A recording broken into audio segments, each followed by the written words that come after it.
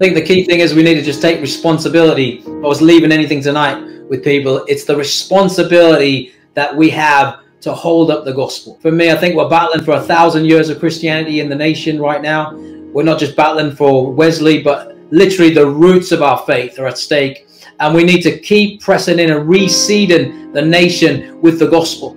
Every town, every city, I think there's 48,000 or 49,000 towns and villages in the UK that all need reseeding. We all see these small chapels closed and turned into bed and breakfasts. And it's not about reopening those buildings, but it is about reopening the gospel in those towns and those villages. And so we need 49,000, 48,000 evangelists right now in the nation. And so that teeny bopper evangelists, 20, 20s, 30s, you know, X generation, Z generation, I mean, every millennial generation evangelist, every type of evangelist we need right now. And I love Daniel Chand and Dominic Lamour who are leading the charge on this, some of these grassroots guys, and they've been stirring me, so I want to honor them tonight.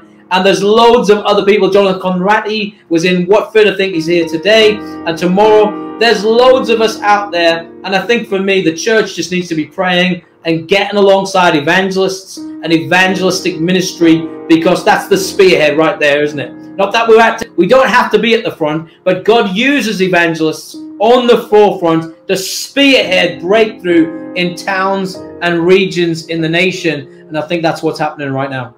I really feel in my spirit like uh, the same way as Daniel Nash prepared the way for Finney to enter into a place. I also feel that, you know, one of the things that I want to do is I want to stand with you.